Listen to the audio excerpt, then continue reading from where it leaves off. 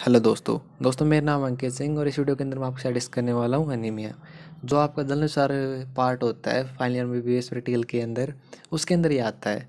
तो इसके अंदर इसकी डेफिनेशन कहाँ पर देखते हैं, कौन सी क्लासिफिकेशन है pallor without anaemia symptom working classification और इससे रिलेटेड जो कॉमन क्वेश्चन होते हैं, जो एग्जामिनर आपसे पूछता है, वो सारी बातें हम इस वीडियो के अंदर डिस्कस करने वाले हैं। सबसे पहले बात आती है एनीमिया की डेफिनेशन डेफिनेशन होती है क्वालिटेटिव और क्वांटिटिव डिमिनेशन ऑफ़ आरबीसी या हीमोग्लोबिन कंसंट्रेशन ठीक है? आरबीसी के अंदर भी हो सकता है हीमोग्लोबिन कंसंट्रेशन के अंदर कंसंट्रेशन के अंदर भी हो सकता है relation to standard age and sex ठीक है? सबसे पहले आपको डेफिनेशन पता होनी चाहिए एनीमिया की, कि जो जिस एज में पेशेंट है, उसकी स्टैंडर्ड एज होता है, उसमें नॉर्मल अमाउंट होता है आरबीसी या हीमोग्लोबिन का कंसनट्रेशन उससे कम हो जाता है क्वालिटेटिव फॉर्म में या क्वान्टिटी फॉर्म में तो आप बोलेंगे एनीमिया का केस है। तो आपका जो कार्डिनल साइन होता है या क्लिनिकल मैनिफेस्टेशन होती है एनीमिया की, वो होता है आपका पैलर तो हम पैलर कहाँ पर देखते हैं? एग्ज़ाम पूछता है, करवा के देखता है। तो हम नॉर्मल गुड नेचुरल लाइट में हम इसका साइट देखते हैं। कौन सी कौन सी साइट होती हैं? Lower palpable conjunctiva tongue specially at the tip and dorsum mucous membrane of palate palate के अंदर भी मेनली सॉफ्ट पैलेट उसके बाद आपका नेल बेड्स और palm sole and general skin surface. ये मेन होते हैं आपकी एनीमिया को देखने की साइट्स ठीक है? उसके बाद आपको साइट आपसे पूछ सकता है, आपसे चेक करने के लिए बोल सकता है कि चेक करो एनीमिया ठीक है? उसके बाद आपके आपसे पूछ सकता है कि इसकी क्लासिफिकेशन क्या है? क्लासिफिकेशन आपको मैंने तीन पार्ट डिवाइड करते हैं हम। जो नॉर्मल रेंज होती है, मैं नॉर्मल मानते हैं, वो मानते हैं मेल के अंदर fourteen point six to fifteen point five different book होती हैं, उनके अंदर डिफरेंट डिफरेंट वैल्यू इसकी ऊपर नीचे थोड़ी बढ़ा के दे रखी होती है। लेकिन आपको जो एक बुक है जहाँ से भी आप पढ़ रहे हो, उसको रेफरेंस दे के आप उसको बता सकते हो। फीमेल आपका थर्टीन पॉइंट इससे एक कम कर दो।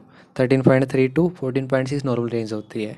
तो माइल्ड जो एनीमिया होता है, उसको हम जब बोल लेंगे जब हम रेंज होती है नाइन टू ट्वेल्व मॉडरेट होगी जब नाइन से सिक्स मतलब कम करना है सिक्स टू नाइन उसके बाद नाइन टू ट्वेल्व और ये आपको लेस देन सिक्स ग्राम पर डेसीलीटर यदि अमाउंट होता है। तो हम बोलते हैं, आपका सीवियर केस है माइल्ड केस है मिडोडेट केस है। तो ये क्लिनिकल क्लासिफिकेशन होगी। उसके बाद आता है आपका, बहुत सारे ऐसे, कुछ ऐसे केस भी होते हैं, जहाँ पर पेलर प्रेजेंट होता है, लेकिन एनीमिया नहीं होता है। तो उनके कंडीशन पूछ सकता है एग्जामिनर आपसे। तो कौन सी कौन सी हैं? एक तो आपका पेरिफेरल सर्कुलेटरी फेलियर है, जैसे शोक की कंडीशन उसमें ऐसा हो सकता है। एक्यूट एम का केस मिक्सोडिमा मिक्सोडिमा के अंदर आपको पहले ज़्यादा प्रोमिनेंस होता है एनीमिया इतना नहीं होता है। ठीक है? थिक स्किन स्क्लेरोडर्मा तो ये जो कंडीशन है, ये इनके अंदर पहले प्रेजेंट होता है, लेकिन एनीमिया आपका नहीं होता है। तो एग्ज़ाम ये आप पूछ सकता है कि कुछ ऐसे कैसे बताओ। और कॉमन कॉज ऑफ़ एनीमिया बताओ।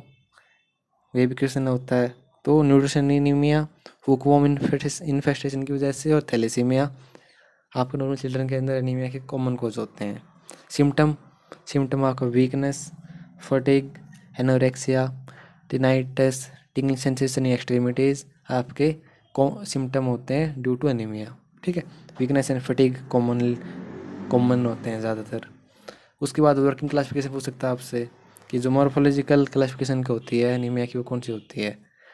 उसके अंदर मॉर्फोलॉजिकल के अंदर नॉर्मोसाइटिक एनीमिया हो सकता है माइक्रोसाइटिक मैक्रोसाइटिक ठीक है मॉर्फोलॉजी ऑफ़ आरबीसी की depend depend on morphology of RBC aetiology के अकॉर्डिंग ब्लड लॉस एक्यूट और क्रोनिक ब्लड लॉस की वजह से, और इनएडुकेट फॉर्मेशन ऑफ़ आरबीसी या तो आरबीसी बन बन कम रहा है, और एक आपका सेकंड बन तो नॉर्मल रहा है, लेकिन डिस्ट्रैक्शन ज़्यादा है।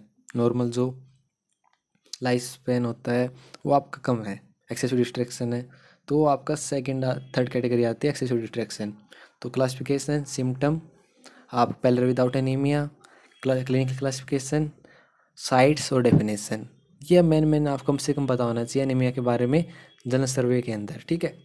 तो होप कि आपको इस वीडियो से एक अच्छा आइडिया लग गया होगा एनीमिया के बारे में।